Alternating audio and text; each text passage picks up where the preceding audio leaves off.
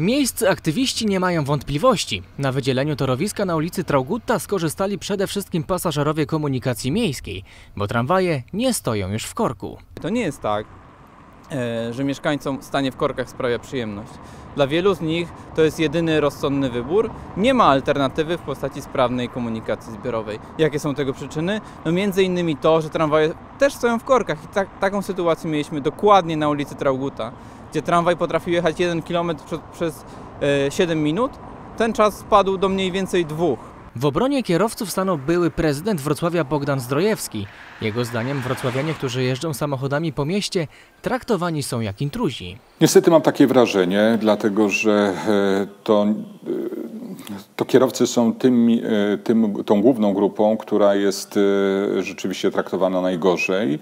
Ja nie jestem wielkim zwolennikiem, od razu powiem, komunikacji indywidualnej, bo ona jest uciążliwa. Jestem wielkim zwolennikiem komunikacji zbiorowej, ale komunikacja indywidualna jest w krwiobiegu miasta ważnym elementem, ważnym składnikiem. W ocenie Zdrojewskiego miasto przede wszystkim powinno stawiać na budowę nowych linii tramwajowych, ale niezwykle ważna jest także budowa mostu wschodniego. Trzeba zrobić ten most wschodni, bez wątpienia. Podkreślam, że to nie powinna być e, obwodnica Wrocławia e, tranzytowa, tylko to powinno być taki wentyl bezpieczeństwa dla bardzo atrakcyjnej części miasta. Ten most Zwierzyniecki po prostu nie wytrzyma tego obciążenia, które jest. Jak twierdzi prezes akcji miasto, kolejne inwestycje drogowe pokazują tylko jedno. Wrocław jest miastem samochodów osobowych. Oczywiście to powoduje konflikty, yy, bo nie da się stworzyć miasta takiego, które będzie przyjazne dla kierowców, jeśli będziemy inwestować w drogi.